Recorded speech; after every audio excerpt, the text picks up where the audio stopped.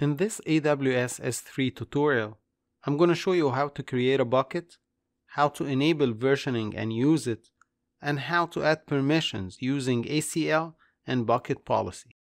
If you are not yet subscribed, please subscribe now for free tutorials and computer related tips. And now, let us get started. To create S3 bucket, first log into your AWS console and search for S3 service inside AWS service search box. Select create bucket and then choose a name and I'm going to call it for example dot dotsway2 since I have another one called dotsway. You can choose the region here or just leave it for the, as default. And after that you can copy any settings from some other buckets. So for example, since I have another bucket called dotsway, I can copy all the settings from that one. Then click next.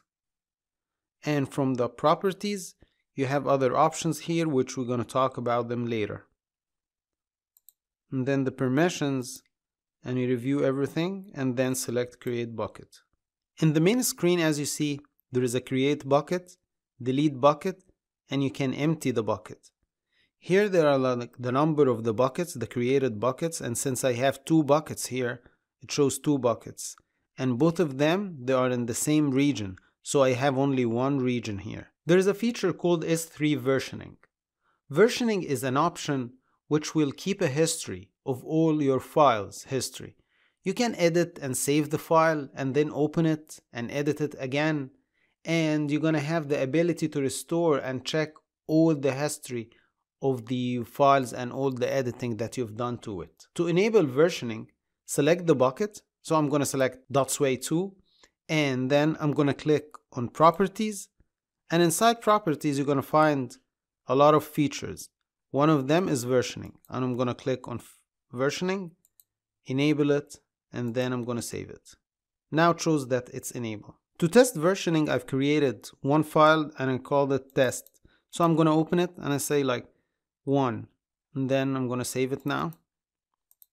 I'm gonna open the bucket that we've created which is called dotsway2 I'm gonna copy the file test to that bucket. Then I'm gonna click on upload. So it's uploaded now. Now let us open again the file and we change 1 into 2 and then I'm gonna save it. And I upload the file again let me open it again. And I put 3 and I add more text. And I'm gonna save it. Let us upload the file again. Now if you click on the file and you check here on the top you're gonna find that this is showing the latest version. If you click on that drop down to find that there are three times. So you have the versioning showing that there are three versions. If you check one version of them, and then you click on open, you're to see number two. Okay, let us check the, uh, I mean, change the version. We'll go to that one, and you can see that this is the first edit. We'll go to the latest and open so you have now all the history. So even if by mistake you did something wrong to the file or someone, if, if someone has a permission or a lot of people or a big team working on a code, you still have all the older versions. Also in S3, using a bucket, you can change the permissions. Mm-hmm. And to check the permissions, just go to the main bucket, then select the bucket. And from there you can find the permission. Just click on the permission and you're to find three ways to change the permission. Either the access control list or the bucket policy or the CORS configuration. But usually I use the access control list or the bucket policy. For the bucket policy, you can add here a JSON format, something showing effect is allow, allow it or deny it. You put some principal, you put some IAM IAM uh, users and the actions. To show you some example I copied something to show you an example for a policy. So for this policy it's allowing for the principal for a user Alice and a root and for all the buckets inside S3 so it's showing asterisk.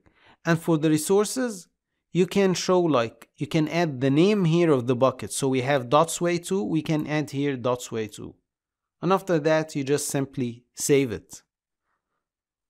For the access control it's very simple. You can here add the user and give it read or write or full control. You can have even different groups which they are predefined by S3 so you have any authenticated user or everyone if you want to make it just public or log for someone to have access to the logs. So that's it for today guys and in the next video I'm gonna show you how to create a static website using S3 without the need of having any server side technologies. Thank you. Bye.